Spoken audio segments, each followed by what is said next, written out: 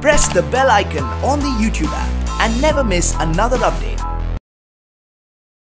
तो congratulation Thank लोगों you. को बहुत ही पसंद आ रहा है तो आप लोग बताइए कि कैसा रहा आपका एक्सपीरियंस इस शो के साथ गुलदीप आप बोलिए पहली बार तो मैं मिस्टर समीर चौधरी से मिली हूँ आज पहली बार इतने सालों में really good thing for me this uh, this today and uh, season two आ रहा है आ गया है almost शो में आज लॉन्च हुआ है तो आज लोगों को उतना ही पसंद आएगा जितना फ़र्स्ट सीज़न पसंद आया है। And I am really hoping that they will like my character because मेरे लिए बहुत कुछ नया है इस सीज़न में करने के लिए और किया भी है तो I am sure I am just waiting for the good feedback web series में भी कंपटीशन का बहुत ज़्यादा हो गया, काफ़ी सारे वेब सीरीज़ आ रहे हैं तो कितना डिफरेंट होगा और क्या कहना चाहेंगे कि ऑल बालाजी बालाजी मतलब ब्रांड नेम है तो क्या कहना चाहेंगे? सर आप बड़े सारे सवाल पूछ गए एक साथ। क्या सवाल आप रिफरेंस कंपटीशन है। देखिए कंपटीशन हाँ चलो ठीक है। देखिए जहाँ तक कंपटीशन की बात है अगर वो टेलीविज़न हो या फ़िल्म हो या वेब सीरीज़ हो कंपटीशन सब जगह होगा। और एंड में जो क्वालिटी होगी वही सर्वाइव करेगी।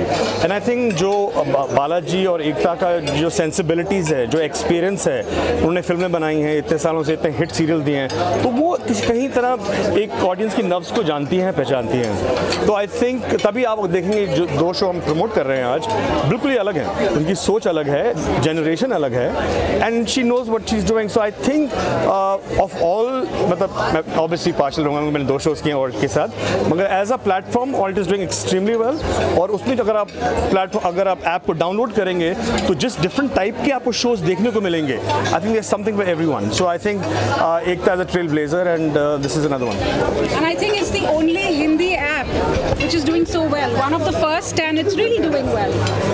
क्योंकि वैलेंटाइन डे के मौके पर आप लोग का शो भी आ रहा है तो क्या कुछ स्पेसिफिक प्लानिंग होने वाली है आप लोगों की तरफ़ से वैलेंटाइन डे पर और शो भी आ रहा है तो डबल धमाका ऐसा क्या होगा देखिए वैलेंटाइन डे बहुत स्पेशल है। अ, मैं अपनी वाइफ और अपनी बेटी के साथ खाने बाहर जाऊँगा हमेशा जाते हैं। बेटी को छोड़ नहीं सकता वो भी मेरी वैलेंटाइन है। तो अ, वो तो बहुत ही इंपॉर्टेंट है। इनफैक्ट आई थिंक हमारी स्क्रीनिंग रखी गई है वैलेंटाइन डे के साथ। अब बेटी के साथ नहीं आ सकती है वो नीलम और मैं ज़रूर जाएँगे।